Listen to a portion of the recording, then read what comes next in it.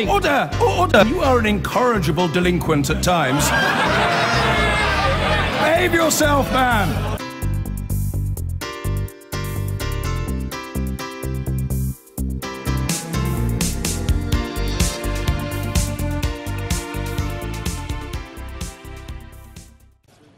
In an interview with Sky News, the Shadow Foreign Secretary, Emily Thornberry, was unable to name the French Foreign Minister. She then accused Sky's uh, Dermot Murnaghan of sexism for asking the question. She also refused to name the President of South Korea in the exchange. But I just wonder, I mean, have you called the French foreign minister, for instance? No, but they, we're in the process of arranging for me to go to, go to France and to Germany. Do you know who he is? Um, don't start pub quizzing me, don't. Well, don't I mean, start know, pub quizzing he's me. He's the French foreign minister. Do you know his name?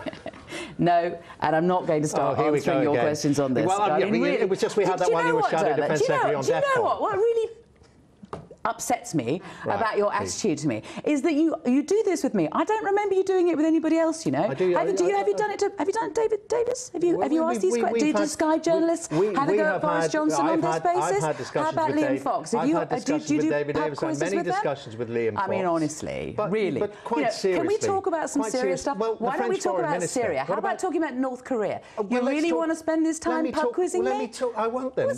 Let's talk about North Korea. Let's talk precisely about that. Do you think? Well, the fact that you don't know the French foreign minister's name. Oh, okay, yeah, okay. yeah. Well, what, what, about the South Korean president then, if we want to talk about North Korea?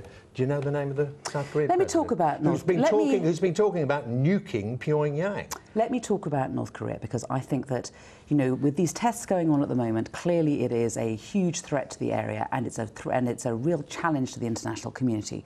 You know, what are we to do about North Korea? This idea, I mean, you know, it's not fully fleshed out now, but we are hearing some reports saying that South Korea, obviously cheek by jowl with North Korea, worried about these developments and has contingency plans for a preemptive strike on Pyongyang.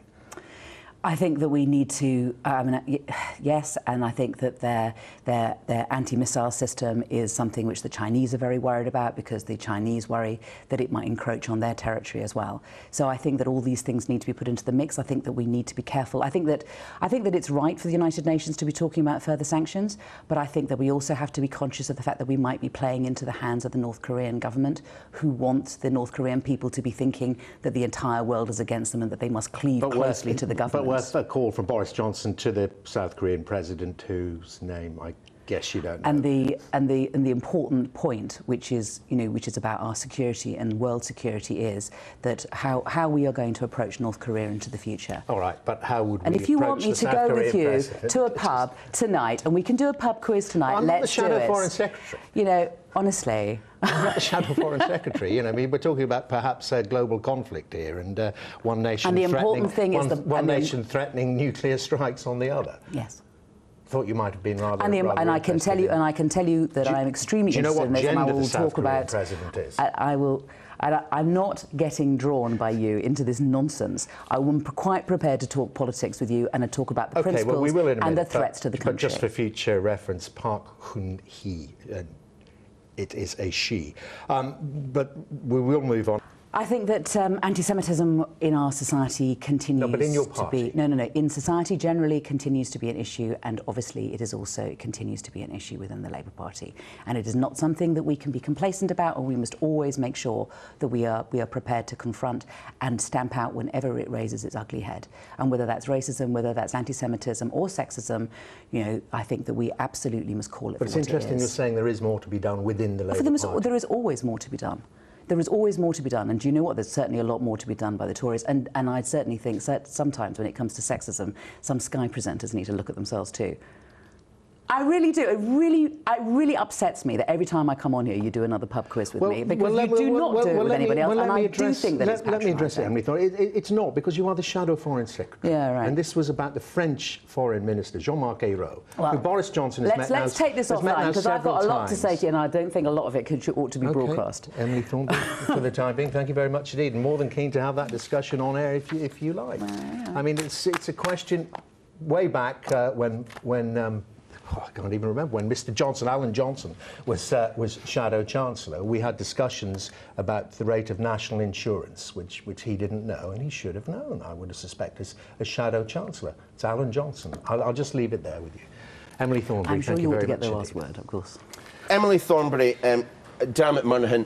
I I don't know whether those two are going to be exchanging Christmas cards this year. I, well, I don't think I'm on Emily Thornberry's Christmas card list either, but there we are. But um, no, this, is, this was absolutely wonderful. A perfectly reasonable question about whether she said she was going to be, um, kind of say, shadow foreign secretary Emily Thornberry, which still makes me laugh. But she said she was going to be meeting with uh, uh, the German and French uh, um, shadow ministers, and and he, uh, he just asked the name of you know the French minister, and she said, "Don't start pub quizzing me, Dermot," and then accused him of sexism uh, because he he doesn't do this with the male present with male uh, uh, um, uh, shadow ministers, which of course he, He has done does. it with David Cameron. Uh, He's Alan done it with did- Alan Johnson, I believe, with Boris Johnson as well, and a variety Yeah, of Derm- others. Dermot's not sexist at all. But it, I do have some sympathy with politicians when you're asked a question of, uh, you know, some fact, and you, you either don't know the name, but, and, but and so she clearly started to busk it a bit because she couldn't say, oh, I haven't a clue who this person is who I've just said I'm, mes- you know, Yeah. meeting tomorrow, whenever it is.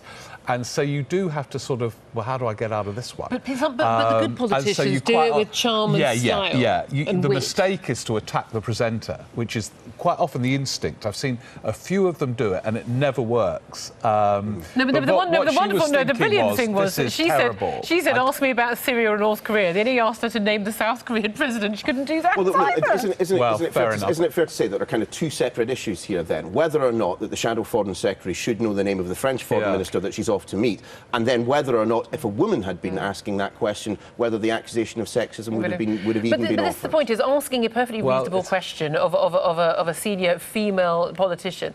Uh, it, that, that is sexism. It, it- frankly, there is enough sexism that's going on for her to claim this is sexism. No, is a national embarrassment. but- but- this is a woman who was shadow defence secretary and didn't know what DEFCON meant. no, for no, God's but sake. look, my nine-year-old knows what DEFCON meant. she was she was trying to get out of a situation which is a, a nightmare and because she, she couldn't do the answer and you can't say i don't know the name and I so she people you would people people more bust well maybe maybe uh, certainly the I line she took I can't remember didn't right work. now. I've got I've, I've met so many people. I can't remember his name yeah, right no, now. that would have been a better way out of You it. know. I agree, but but the fact that you had to get out of it is unquestionably Yes, but to play the. Um, sexism card in the same way people inappropriately claiming the racist card, you should never play those cards unless it actually is, because it's very dangerous and it undermines. She's just undermined. It's a very lot serious allegation to make of very- anyone, particularly if you're I- doing it on live television. I thought Dermot Murnaghan was remarkably gracious, gracious about it. Actually, Well, he, he's, he's, he he's- should he's demand an not, but- apology. Um, but you know, it is. I remember when Ed Balls, who, who's, who's got a fantastic memory, forgot on air the business person he had Oh, just yeah. had dinner with or something.